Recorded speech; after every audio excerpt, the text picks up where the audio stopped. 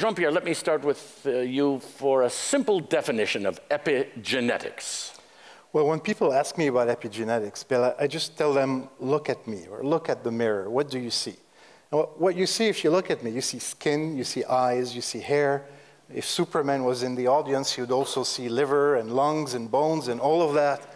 And uh, we have more than 200 different tissues in our bodies. They're very different, they don't look alike, they're very stable. And here's the mystery we have 200 tissues, one DNA sequence. So Dr. Watson, when he discovered the structure of DNA, couldn't explain that. How could you get, go from one DNA sequence to 200 different tissues at the same time in the same person? And so in the 1950s, Conrad Waddington, a biologist, was studying this question and postulated there must be something that works on top of the DNA sequence. And this is where the term epigenetics comes from, epigenetics. And at the time, he didn't know what it was, but he said there must be something that modulates the genes in different tissues. We now know what it is. Uh, Frances, a little bit more on the word epigenetics. What does epi mean? Epi and top of, above. Um, genetics, obviously, the, now we refer to that as the DNA. So these are all factors that come around the DNA and ultimately affect how likely it will be that the DNA is read or not. Possibilities of trauma or famine affecting what happens in people's physical lives three, maybe even four or six generations later.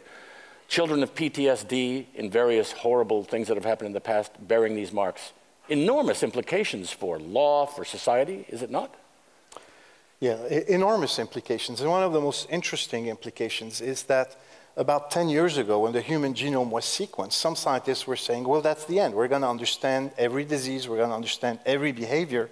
And it turns out we didn't, because the sequence of the DNA isn't enough to explain behavior, it isn't enough to explain diseases. And that's where I think the field of epigenetics took off, because even hardcore geneticists started saying, wait a minute, why are these people with the same DNA behaving differently or having different diseases? And they started paying attention to us. On that point, people with the same DNA, we all have heard of identical twins, the same DNA at the beginning, and as they grew to be older and older women, differences appeared.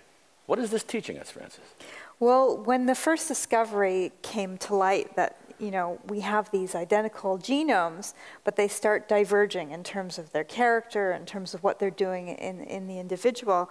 Um, there was evidence that there was an epigenetic divergence. So when you're young uh, and you're twins, you have very similar epigenomes. When you're older and you're twins, you have very divergent epigenetic features.